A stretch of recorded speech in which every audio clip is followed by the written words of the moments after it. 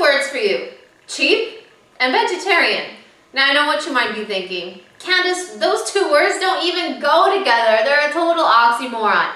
Maybe in the past they were, but welcome everybody. It is the Divas Dish and I am Candice Camacho. Thanks for joining us today. And if you can boil water and chop garlic, you can definitely handle today's menu. I call them stupidly easy peanut noodles and they're coming up next. Okay, let's talk ingredients for our peanut noodles. The list is very short. We've got fettuccine noodles that are much thicker and wider than the other type, which I prefer.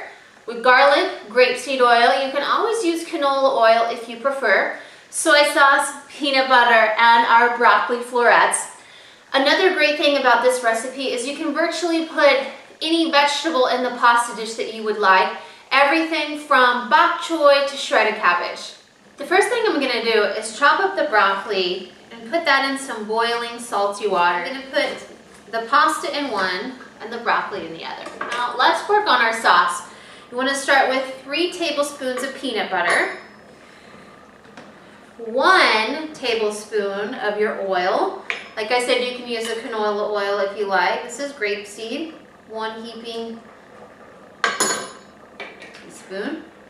Set that aside two of your soy sauce. I like it a little more, I like a little more soy in my sauce, so I tend to put a little bit more. If you're a garlic lover, you can use two or three cloves. One little trick I'm gonna put in here too is a little bit of crushed red pepper to taste. If you like it spicy, put a little bit more in. And the last ingredient for the sauce is about three tablespoons of water. I'm gonna just take a whisk and whisk it up. It takes a minute or two. No need to get out a blender. Just get your bicep going and get into it. And the last ingredient for the sauce is about three tablespoons of water. Now all we have to do is put this yumminess together. A little bit of pasta, a couple of broccolis. And guys, if you have any questions, don't forget to follow me on Twitter. My Twitter handle is at Candice underscore Camacho, that's C-A-M-A-C-H-O. And I'm gonna dump this peanut butter sauce right on top of the pasta and the broccoli. Okay, last but not least is the Divas Dish taste test. Will it make it?